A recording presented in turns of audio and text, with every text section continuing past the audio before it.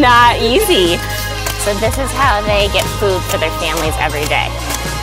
And they eat what they can knock off of this thing.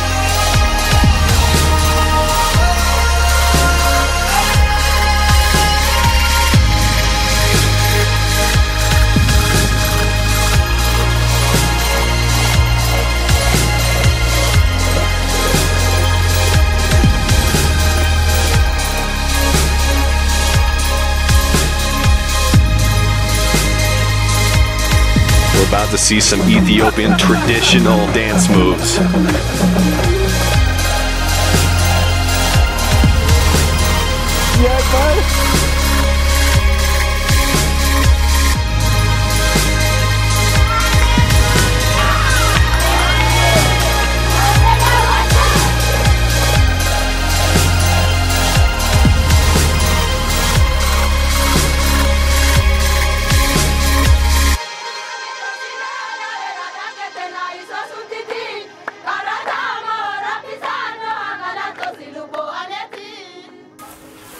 Ethiopia. We love you. Mm.